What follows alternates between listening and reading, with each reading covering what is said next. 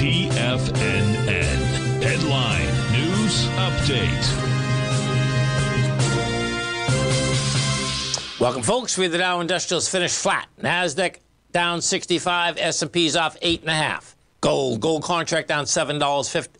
Gold contract up seven dollars fifty cents, trading 17.62 an ounce. We had silver up 27 cents, $21.40 an ounce. Light sweet crude up a $1.14, $78.37 a barrel. Notes and bonds. A 10-year note down eight ticks, trading 112.21. A 30 year off 23 at 126.22. And King Dollar. King Dollar's up 165 ticks, trading 106.845. Euro 103. Yen 138. And the British pound 106 to one U, uh, British pound rather, 119 to one U.S. dollar. We get over and take a look at the uh, market here, folks. Uh, you know, SPY really is a sideways move with light volume. Um, you know, he's down 68 cents.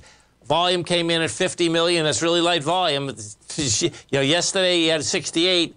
You're coming into 74. So, you know, that's that's a market that uh, looks to me like this doesn't want to go down. And you know, you're still over the strength. Now, the strength in the SPY is 395.04.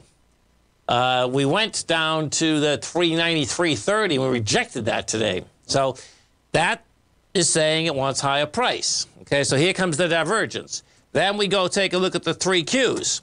Three Qs, bottom line, can't hold price. They're down 214, and that had contraction of volume. No, yesterday we did 38, today we did 34. The differential is that you're inside the range. And you're inside the lower range by $4, okay? So that's a big number. That's telling me that wants to go fill that gap. Then we go over, so that's bearish. Then we go over to the dollar. And we go over to the dollar, we take a look at the dollar. Dollar wants higher price. When dollar wants higher price, market likes lower price. We rejected a low yesterday of a 105, 321. We're at 106, 830. When we just did the confluence on it, the confluence is between, and this is pretty cool, man. This is lined up nice, okay? The confluence, okay, so 10, I'll do this quick. 108, 260. Okay, one second because I, I said I did that wrong the first time. 108 is 260 because it's going to be 108 260 plus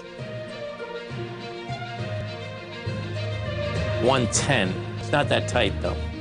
110. 108 260 and 110. Bottom line is that this dollar wants to bounce. Think that market wants to pull back.